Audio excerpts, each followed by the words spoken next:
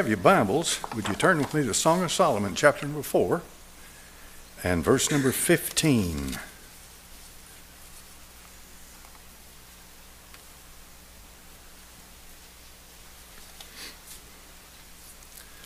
Song of Solomon, chapter number 4, verse 15. A fountain of gardens, a well of living waters, and streams from Lebanon. Awake, O north wind, and come, thou south Blow upon my garden, that the spices thereof may flow out. Let my beloved come into his garden and eat his pleasant fruits. Father, bless this word now, living word as it goes forth. In thy name I pray, amen. You can be, you can be seated. The garden in the Song of Solomon was planted of the Lord. It's planted. She didn't plant it, God planted it. And it's his garden. And then he walled it in. Therefore, it became a very personal, private thing. And we'll get into a little detail in a few minutes about what's going on with this. But I want you to notice that when she calls out, she says, Awake, O north wind. She cries out for the wind to come into the garden. Now, the garden's there, the fruits are there, and the beauty's there, and the smell's there. But she wants the wind. The wind is not for her, the wind is for him. She wants the Holy Spirit. That's what that's talking about, to move in that garden. You see, the Lord smells a stench or he smells a sweet savor. The scripture says we are the smell or the, or the aroma of death unto death for those that don't know the Lord, and the aroma of life unto life for those that do. And that's very important. When God gave you that ability to smell, uh, He gave you a defensive thing, and it's also something that enhances your eating, and it can be used in a lot of different ways. Amen. And so keep in mind that these gifts of your body that the Lord's given you are every one there for reason. Now, when the Lord Jesus Christ ascended to heaven, he, sat, he sat down at the right hand of the Father. He was welcomed in, as I told you last week, as he approached the top of that mountain. Who can ascend into the presence of the Lord, the scripture says, and it gave the qualifications. There's only one that's qualified to do that, and that was the Son of God. He approached him and he sat down. The Lord said unto my Lord, Sit down until I make thine enemies thy footstool. The Almighty called his Son the Lord. God's not about to call something that he created God, but he certainly did him. Oh, God. So we read over here in the Song of Solomon where she cries out for the wind to come and blow upon her garden. Now, if you look in the book of Acts, chapter number 2, you'll find immediately upon the ascension of Christ that the wind comes down out of heaven, right? As a rushing mighty wind, and it fills the house where they were sitting.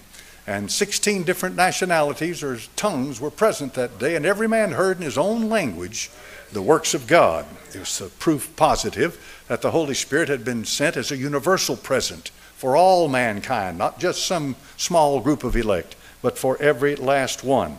But this follows immediately upon the death of Christ he sends the Holy Spirit. Now, this is what's important about this. The Bible said, if any man have not the Spirit of Christ, he's none of his. Well, what's he talking about? Well, the Holy Spirit's what he's talking about. But the Holy Ghost takes on an entirely new identity when he comes being sent. You see, he's sent as an apostle, sent with authority, sent with power, sent to exercise that authority and power in the name of Christ as Christ comes into this world. That's important. What that means is tonight the Lord Jesus Christ is everything. He's everything there ever will be. He's everything there ever has been. And He's all that matters now. And so when you gauge everything you say, you sing, you preach, you do, you compare it to Christ. Let it be, let it be exposed in the light of Christ. Who's the Son of God? And how does this relate to Him? Like I told you last week, I had much rather have my, my Sabbath, my rest, in a person than in a day. Think that through. Amen. It is his call to the Spirit to come in John chapter 14. He said, I'll pray the Father, and he'll send you another comforter. His description of the new birth in John chapter number 3, he said, The wind bloweth where it listeth, thou hearest the sound thereof, but canst not tell from whence it cometh and whither it goeth. So is every one that is born of the Spirit. Man started with the breath of God. Amen. That breath of God came directly forth from the Lord. Nowhere in the Bible does it ever say that God ever breathed into an animal. He never breathed into an angel. He didn't breathe into a cherubim or a seraphim, but he breathed into the man. That breath, therefore, was the source of life for the man. God doesn't need to breathe, does he? He doesn't need anything. If he needed breath, my dear friend, then that means he needs something. He needs nothing. He exists because he exists. I am that I am. And therefore, that's who he is. He needs nothing. The book says in Matthew chapter number 24, he'll send his angels with a great sound of a trumpet, and they shall gather together his elect from the four winds, from one end of heaven to the other. So the Bible tells you that there are four distinct winds in the earth north wind, east wind, south wind, west wind.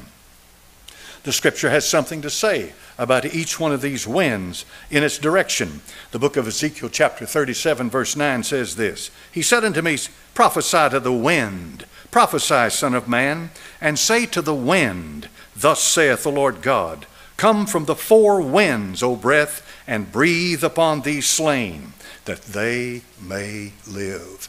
As wind or breath gave them life to begin with, wind or breath gives them life again. Amen. Yes, it does. Yes, it does. So, what is the identity of these winds? Well, the east wind, the north wind, the south wind, and the west wind. Let's talk about the east wind, for example. Genesis chapter number 41, verse 23 says, And behold, seven ears, withered, thin, and blasted, with the east wind sprung up after them. Now, what is this? This is a vision that God had given Joseph about what was coming to Egypt. He told him there's going to be seven prosperous years, all the food you can eat, then there's going to be seven years of famine. And so God used Joseph to prepare the world to be able to live and prosper and survive through this plague. Exodus chapter number 10, verse 13 says, Moses stretched forth his rod over the land of Egypt, and the Lord brought an east wind upon the land all that day and all that night. And when it was morning, the east wind brought the locust. What about that? Now look at Exodus 14, verse 21. And Moses stretched out his hand over the sea, and the Lord caused the sea to go back by a strong east wind. See that? All that night, and made the sea dry land, and the waters were divided. God can use natural things to perform a miracle. That's exactly what he did. He used a natural thing to perform a miracle. But if you notice that this cleansing, powerful, almighty wind comes from the east, that's important to remember that. Important.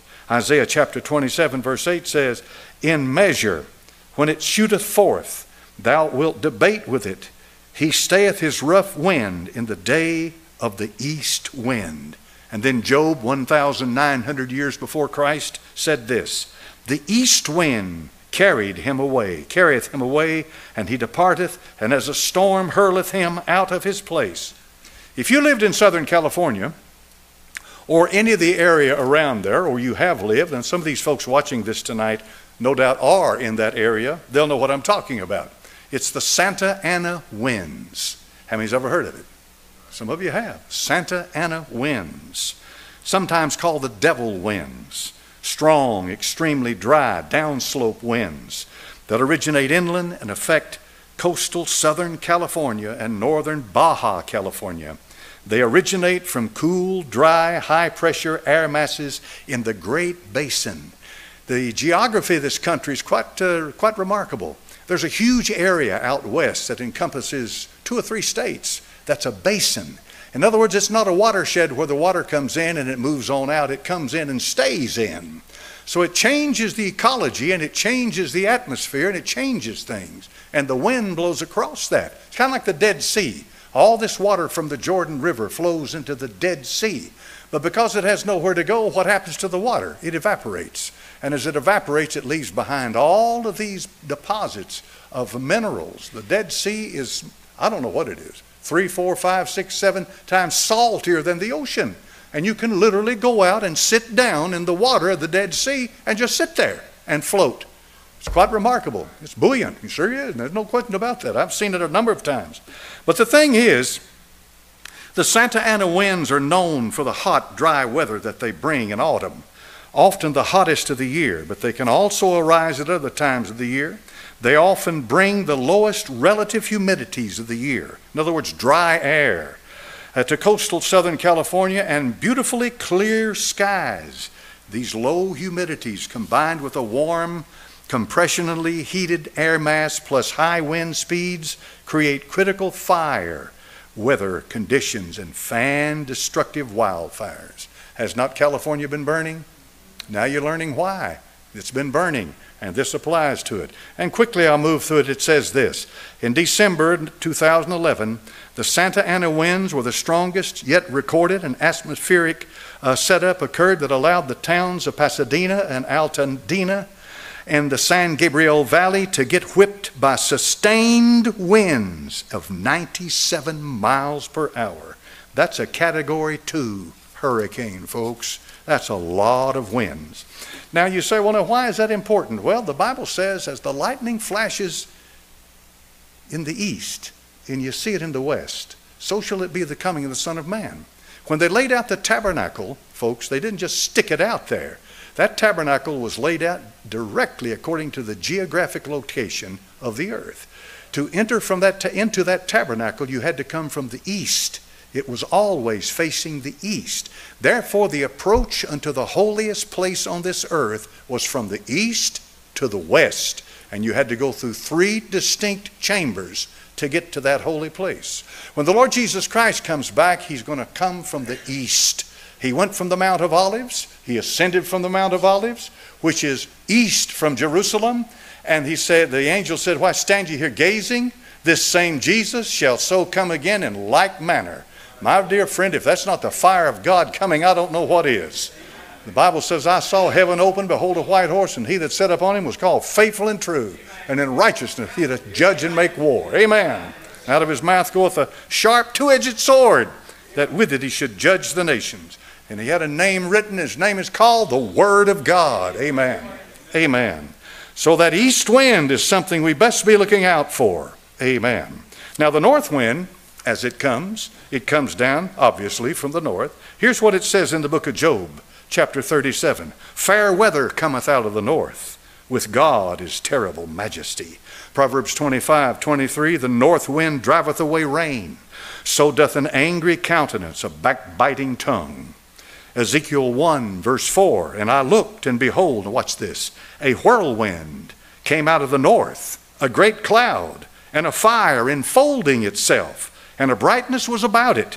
And out of the midst thereof is the color of amber, out of the midst of the fire came what? It came a throne that had wheels, that was moving about, showing the sovereignty of God, even though his people were in captivity. He was still on the throne. Nothing had changed about that. But where did it come from?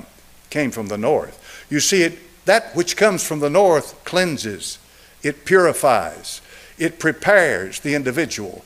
The type of the Holy Spirit comes and cleanses and prepares you to receive the blessing of God by the power of the Holy Spirit of God. Listen, without Him, you can do nothing. Without Him, you can do nothing.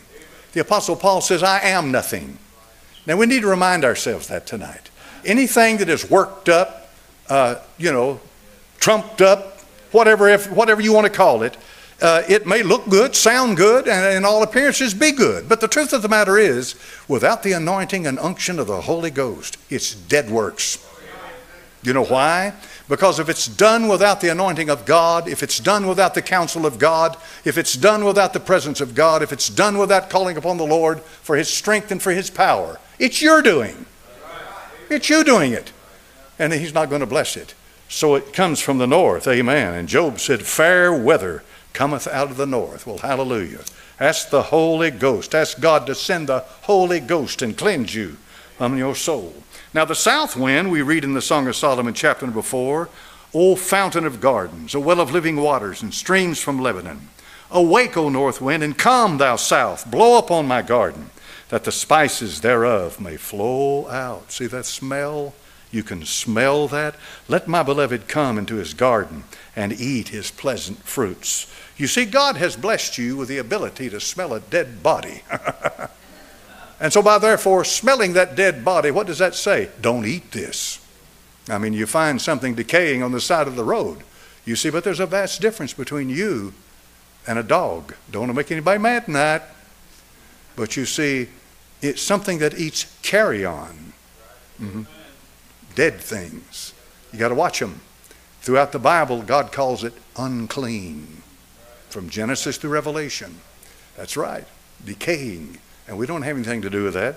So, south wind, as she cries out, let this south wind blow upon my garden. So, what does that mean? Well, that means the comforting wind that comes from the south. You see, once God has cleansed the soul, purged it, and if He needs to, He'll put you through the uh, chastisement. But that's okay. That shows you that He loves you and that you belong to Him. Chastisement is not necessarily punishment, folks. I've said time and again. Chastisement is instructive, right? It's remedial.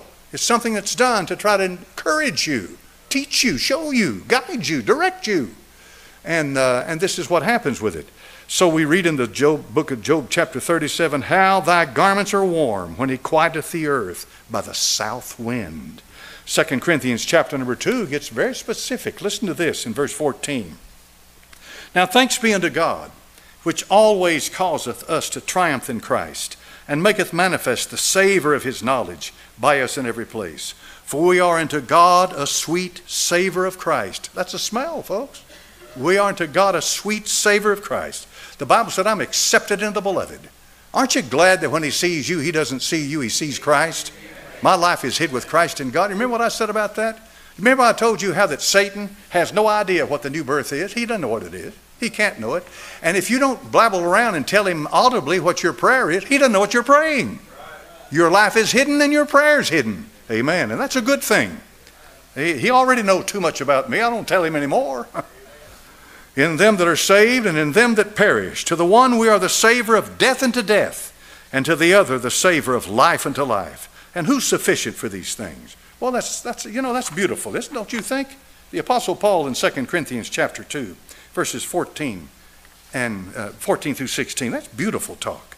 Ephesians 5 2 says, And walk in love, as Christ also hath loved us, and given himself for us an offering and a sacrifice to God for a what? Sweet smelling savor. See that? The scripture says that he shall see the travail of his soul and shall be satisfied. His body was racked with pain. His body was suffering, no question about it, would not take one thing away from the horror of crucifixion. No way in the world. But his soul was also suffering. Yes, it was. And he saw the travail of his soul. You see, the suffering of the soul was not a physical suffering of the body. The suffering of the soul had to do with a spiritual war that he was engaged in while he was on that cross. The west wind, 1 Kings chapter 18, verse 22, it says, And it came to pass at the seventh time that he said, Behold, there ariseth a little cloud out of the sea, like a man's hand. And he said, Go up, say unto Ahab, Prepare thy chariot and get thee down, that the rain stop thee not. Oh my goodness, we've been in a, here we are, we, we've been in drought for a uh, drought for years. Good night. And all of a sudden, this prophet says it's going to rain. Get ready, the rain's coming. It's just a little cloud. The great sea is what he's talking about, the Mediterranean. You can stand at the top of Carmel. I've been up there. And you can look over and see the Mediterranean. And there you can see, he saw that, saw that hand coming. In 1 Kings chapter 18, verse 45, it came to pass in the meanwhile, the heaven was black with clouds, and the wind, and there was a great rain, and Ahab rode and went to Jezreel. So from the west comes the rain. And I told you about being in the Holy Land in, uh, I don't know, forget now, June, July, somewhere in there. And it wasn't the rainy season, but man, did the sky turn black and the wind started rolling. And I'm from East Tennessee. I said, we better find us a place, buddy. It's going to be pouring the rain. I said that to our guide. He said, Don't worry about it, son. He said, It won't rain a drop.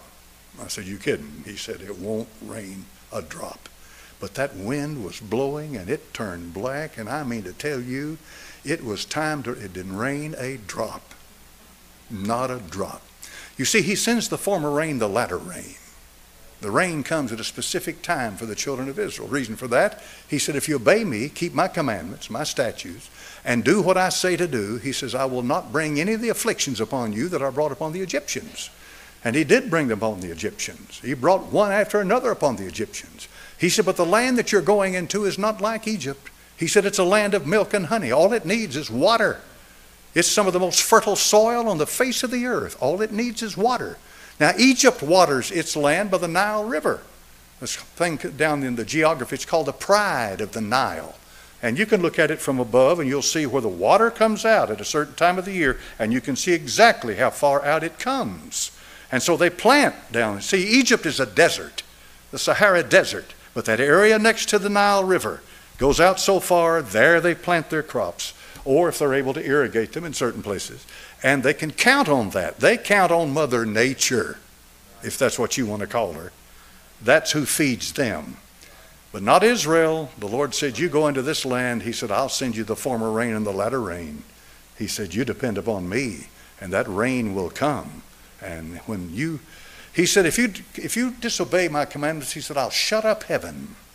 And this is what had happened. He shut it up, you see. And the moment he shut heaven up, they went into, a, into you know, starving, famine.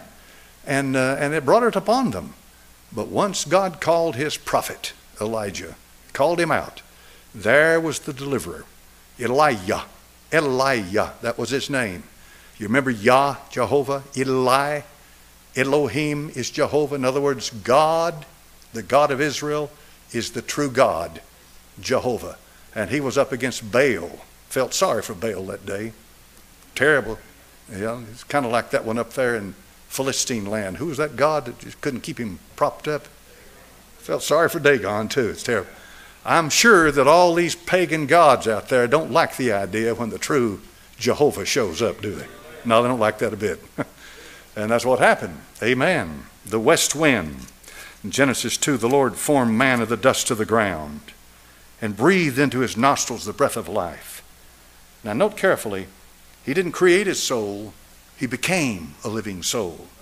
It's kind of like our Lord Jesus Christ because you see, this is the first Adam, Christ is the last Adam. There's so many things about the first Adam and the last Adam that are so close to each other. Now, the first Adam was a man of the earth, earthy, but the last Adam is the Lord from heaven, remember? Came down from above. He took a body here. He didn't bring the body from above now. The blood did not come down from above, folks. The blood came from a body that came from here. But the second person of the Trinity, of the Godhead, came from above. From everlasting to everlasting, the Lord Jesus Christ has always been, will always be. All right, never was a moment that he was not. Always and forever. But the God man, the God man, when God became a man, when God had blood, when God had flesh, Look at John chapter number 6. Look at it closely. He said, Except you drink my blood and eat my flesh, you have no part of me in you. There's no part here. And this goes in direct contradiction to what he told them in the Old Testament. You don't eat the flesh of a human being, that's a cannibal. You don't do that. And so they said to themselves, This is a hard saying. How in the world? He said, The words that I give you, they are spirit and they are life. All right? So it's an absolute futile thing for you to gather every Sunday and take anything and try to turn it in to the body and blood of Christ. Folks, if you had his literal blood, and I want to be as, Lord of mercy tonight, as I can possibly be, if you had his literal blood and body and you could eat it, it would not save you. You are saved by what he did at the cross by the finished work of the Lord Jesus Christ. Amen. That's what saves, what Christ did on the tree. That's what saves us. But we have those who, they call it transubstantiation. They say, well, uh, it's not a bloody sacrifice, it's a non bloody, but it's not necessary. Why do you have to have a sacrifice every week? He offered himself one time. One time. Hebrews says one time. He offered himself without sin. And so there's no need to continue something that was finished when he did it. But he said in John 3 The wind bloweth where it listeth, thou hearest the sound thereof, canst not tell from whence it cometh, and whither it goeth. So is every one that is born of the Spirit. Notice how that the new birth is like the wind blowing. You remember? We came into being because of the wind, the breath of God. The breath of God brought us here. When a man passes from this earth, man or woman, they expire. I never, never forget him telling me that. I was with my grandfather in 1969 at UT Hospital. The nurse came to the room and she says, Your grandfather has expired. She used what's called a euphemism. What's that? That's a word that takes the bite away. In other words, she's saying he's dead. He has just died.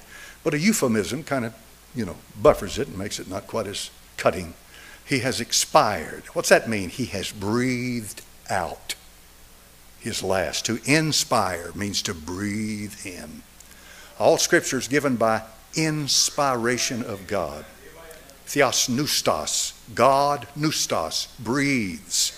He breathes his word. He breathes it when he writes it. That's inspired, and he breathes it when it comes into you. Because the word of God is still alive. You receive a living thing. Amen. So you have something alive in you tonight. Amen. Think about that, 2 o'clock in the morning. You've got something alive in you. Amen. It's the Word of God. say, well, it'll die soon. No, no, no, no. You may die, but the Word will never die. Oh, no, no. It's alive. yes, sir. And I'm all glad for it, too. Believe me. I'm glad for it. I am. Because I don't have to keep myself alive. He keeps me alive. Amen. Amen. In John 20, this is a beautiful thing. When he said this, he breathed on them and said unto them, Receive ye the Holy Ghost. Now, that didn't happen in Acts 2. In Acts 2, the Spirit came down. You know, it's a mighty rushing wind. And most believe that this was the birth of the New Testament church. We, knew, we know what it says in Hebrews 9 without the death of the testator, the testament is not in force. We know that. We know until Christ died on the cross, there was no New Testament covenant. There was no new covenant because it is the New Testament in his blood. So therefore he had to die on the cross. And when he died on the cross, he was buried, and then he was rose. He rose again the third day, and by that resurrection from the dead, he was declared to be the Son of God by the resurrection from the dead. In plainer words, the stamp was put upon him. It cannot be moved. The seal of God. This is my Son, and that can't be changed the resurrection of Christ from the dead. And so he sends the Holy Spirit in Acts 2. It comes down. And today, you know, for some soul, they may mean well. They say, Well, now, have you received the Holy Ghost since you believed? And they get that from the book of Acts, where uh, Priscilla and Aquila found a disciple of John the Baptist, Apollos, and he was out preaching, knowing only the baptism of John. He was doing what he knew to do. He's following the light he had. There's nothing wrong with Apollos, not a thing. Then he was presented with more light. And because he had the right light, and because he had the truth as it was up until that point, he had no problem accepting the truth as it went further. Now that's a principle, and that's a big deal. That's a big deal. And so when they came to him and said, No, no, you've, well, what you've got's fine, but there's more now. And they finished the gospel message with him, and he had no problem. He accepted it right on spot. And Apollos went out, and he was eloquent. He was eloquent. He was a speaker. He went out and began to preach the word of God. But, uh, you know, they asked the disciples there, Have you received the Holy Ghost since you believed? They said, We have not so much as heard whether there be a Holy Spirit. That's a very important thing and interesting, don't you think? Matthew, Mark, and Luke, they said, We haven't heard so much about a Holy Spirit. It's not until you get to the Gospel of John till you start hearing about the Holy Ghost. You start hearing about the Holy Ghost in the Gospel of John when you start hearing about the new birth. Remember that? And in Matthew, we got the kingdom of heaven here on this earth, the gospel of the kingdom, Christ preaching it, the, you know, the Ten Commandments, the Beatitudes, and all of that. But there's not a word about the kingdom of heaven in the Gospel of John. The reason for that is because the Gospel of John was the last gospel written in the New Testament, and it was after the destruction of Jerusalem in 70 AD. There was never any doubt in anyone's mind. The kingdom of heaven was in abeyance. The king had been rejected. And so the gospel was going forth to the ends of the earth, to Jew and Gentile. Made no difference whatsoever. And the new birth was being preached. And the gospel of John is the book that preached it. And that's what you got. That's what you got. And the Holy Spirit now has been given. And if you believe in the Lord Jesus Christ, if you have truly believed, you've got the Holy Ghost. And don't let some poor old misguided soul ask you if you've received the Holy Ghost since you believed. The Bible said, For by one Spirit are we all baptized into one body. If any man have not the Spirit of Christ, he's what? The Bible says you are sealed by the Holy Spirit. The Bible says the seal of the Holy Spirit. It is the unction, it is the, it is the down payment of our inheritance. That's what the Holy Spirit is, the surety of it. So, yes, sir, if you are born again tonight, you have the Holy Ghost. But really, the best question you can ask is not whether you have the Holy Ghost. Does the Holy Ghost have you? I want to read something to you. This was written in the 1500s. I just found this today, and I, I didn't, I'd never seen it before. 1500s, now we're talking 16th century. Listen to this 1500s. Western, and it's anonymous, they don't know who wrote this. Western wind, when wilt thou blow? The small rain down can rain. Christ, if my love were in my arms, and I in my bed again. There's no doubt that this is a reference to the Song of Solomon and asking for the Lord Jesus to come back, that he or she, whoever wrote this, wants fellowship with the Lord. Now think of that. This is in the 1500s. This is 500 years ago. The people are talking back then just like we talk today. Hunger for the Lord. Hunger for the Lord. Now I was listening to Joni last night, Joni Eareckson Tada, and she gave a remarkable testimony about her present life. I just jotted it down. Here's what she said. She said, It is no easy task getting me to sleep. She says, I mean, I'm a quadriplegic with all kinds of issues. So the other night, Ken, that's her husband, helped put on my lymphatic sleeve, my chin strap, my mask, hooked me up to my ventilator, fed it into my oxygen then positioned the pillows. Now, this is an every night occasion. Imagine now, every night when you go to bed.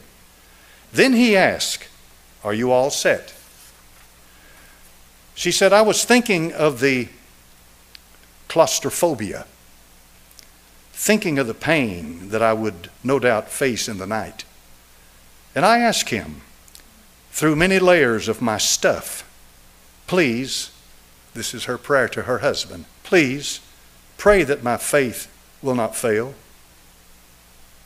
That's real. This is not a put on show. This is, this is not church fakery. This is not the phony garbage you hear. Please pray that my faith will not fail. You see, none of us is above falling flat on our face spiritually. Amen, sister. I readily agree with you. No one has a faith that is all figured out and neatly packaged. She has a way with words. So if you are in trouble spiritually, it is okay to ask a friend, pray that my faith not fail. Oh, and by the way, I did make it through that awful night. God bless you, Joni. You have blessed me unbelievably, time and time and time again. And so when I start mumbling and moaning and griping and complaining and kicking the slats out of my crib and throwing my rattler out on the floor, you know, refusing my uh, formula. I can think about somebody like that. It Makes a difference. Now, this is Sean Idlemeyer. He just sent these in. And this is, this is one young man who loves the Lord. He's in Haiti. The reason I do this tonight is because how many of you know what's going on in Haiti? We need to pray for him. I mean, he is in a he's in a terrible place. But he sent these photographs, and I'll leave them up here, and y'all can look at them after the service. Here's a lady that's got the Bible, La Sainte Bible. Now, there's a lot of French. Uh, Haiti was a French colony, so there's a lot of French mixed in with their language, and I'm not exactly sure uh, what's it called in New Orleans, the mixture of French and English, Cajun? What is it? Creole. Creole. There you go. And so it may be a lot of that here. This lady right here is holding up the Bible. But he talks about this young man right here. It's quite a thing. Said he shows up at his door every day. He wants to read the Bible. He's reading the scripture. He loves the Bible. You got that? And then here is uh, here they're helping each other. They're helping each other, which is that's the way it ought to be. They're helping. I'll just leave them up here. There's no way I, you all can see all of it. And then here he stands with some of these kids that he loves. Let's pray that nothing happens to Sean. I love this brother. He loves the Lord. And I can't, you look at his face, you talk about a happy. this guy is where God wants him to be. He's doing exactly what the Lord wants him to do. Now, what more could you ask for than that? I mean, he's happy. And uh, so I'll leave them laying right there for you tonight. And I'll give you that as a prayer request. Please pray for Sean Idlemeyer. And I was watching the news today, and they interviewed a missionary. And apparently, a lot of churches and a lot of uh, organizations have missionaries and mission work in Haiti right now. And I'm sure that they're worried about their missionaries and worried about what's going on. So please remember them in prayer. Folks, if you don't know what's happening in, in Haiti, there's a guy down there right now who's, who's, a, uh, who's a lord, a warlord of one of the gangs which are trying to overthrow the government. And I think that the prime minister, I think that's his title or president, whatever he is, has resigned. And now they're, they're going to have to create a new government. But this guy is, has been burning people alive. And he doesn't stop at that and I'm not going to get into it tonight. You'd have to have a strong stomach to be able to handle what I'm talking about. But please pray for these kids right here. They need these kids need something better than that, don't they? Yes, they do. Yes, they do. You get the right kind of leadership in down there, and these kids will have something to eat. And and Haiti, and Haiti will be able to prosper. They're trying the Dominican Republic. Hey, it's one island. Haiti's on one end, and the Dominican Republic's on the other and they've got a border uh, separating the two countries. And the Haitians are trying their best to get across the border into the Dominican Republic, and I don't blame them. They're fleeing, they're, they're refugees, they're fleeing what's happening. So please pray for them. Pray for them. Pray for Joni. Pray for Joni. Amen. Please pray for them. And I have special prayer requests to my family. God knows what it is. Lord knows. He knows. And please pray for me. I need your prayers. And we have, if you haven't been reading on the uh, the, uh, the, uh, the the uploaded the uh, YouTube uh, channels, you ought to go in there and start reading. The people are already responding to what I said about praying for each other. They're starting to pray for each other, and a number of them have gone to that man that was so angry, so angry, and they started responding to him and praying for him, and now he is beginning to respond, and so that's a good thing. Amen. So thank the Lord for that. Does anybody have a prayer request tonight? Yes, sir.